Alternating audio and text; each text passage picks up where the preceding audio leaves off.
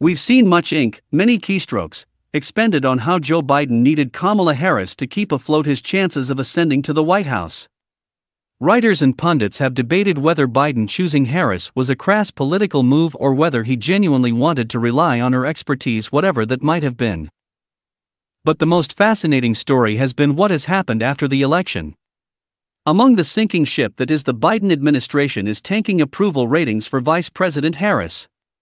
She's been known as much for her gaffes as she has for anything serious she's done.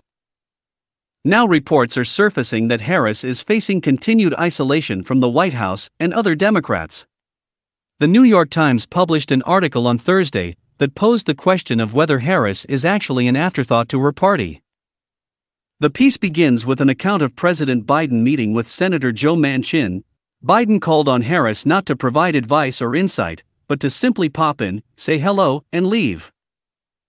While most presidents promise their vice presidents access and influence, at the end of the day, power and responsibility are not shared equally, and Mr. Biden does not always feel a need for input from Ms. Harris as he navigates some of his most important relationships, writers Katie Rogers and Zolan Kanno-Youngs note. One of the most telling anecdotes in the article concerns the administration's tasking of Harris with the border crisis. Of course, we know the story how she wasted valuable time before visiting our southern border, even dismissingly telling NBC's Lester Holt that not going to the border didn't matter because she hadn't visited Europe either. And I mean, I don't understand the point that you're making. I'm not discounting the importance of the border, she dismissively told Holt.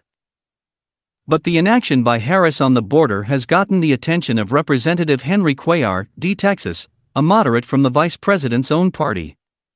He told The Times that when Harris was finally visiting the border in June, he called to offer his support and assistance. He never heard from the vice president or her team. I say this very respectfully to her, I moved on, Mr. Cuellar said. She was tasked with that job, it doesn't look like she's very interested in this, so we are going to move on to other folks that work on this issue. In the future, Mr. Cuellar said he would go straight to the West Wing with his concerns on migration rather than the Vice President's office. Of the White House, Mr. Cuellar said, At least they talk to you. The article also mentions that Harris has repeatedly offered to help spearhead a voting rights initiative, holding meetings and engaging in hours of prep work to help ensure that Democrats remained entrenched in power. The right to vote remains sacrosanct, yet the White House hasn't asked her to tackle that thorny topic.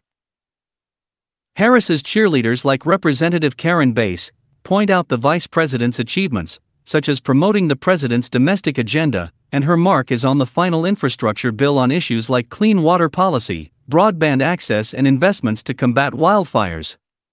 The article also mentions her work on a student loan repayment moratorium. But at the end of the day, Rogers and Kanno-Youngs note that Ms. Harris is facing questions about where she fits into the White House's biggest priorities. The Harris team has gone out of its way at least once to let the media know that he was involved in meetings when the Biden camp doesn't mention her. Of course, there are some explanations for this, if you want to believe Base. One is that Harris is a woman, and the other is that she's a minority naturally. This is exactly the explanation that will fly with much of the vice president's base, who see themselves as perpetually victimized in this inveterately white supremacist country, he said. Whether you believe that hype about Harris, one thing's clear the White House is avoiding her to some extent, and regardless of the reason, it's not a good look for her. As Robert Spencer astutely noted, when even that indefatigable cheerleader for the hard left, the New York Times, admits that a leftist politician is in trouble, you can be sure that the trouble is very deep.